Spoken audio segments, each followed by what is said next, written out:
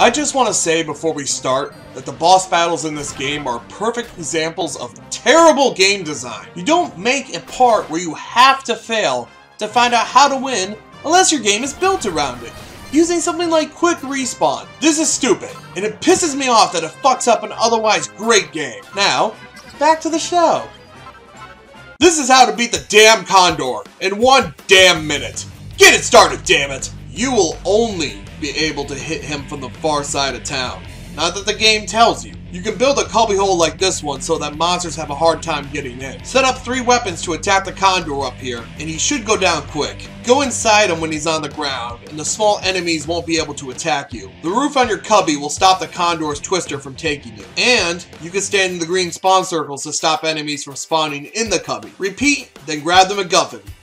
You win. I give this boss fight a 1 out of 5.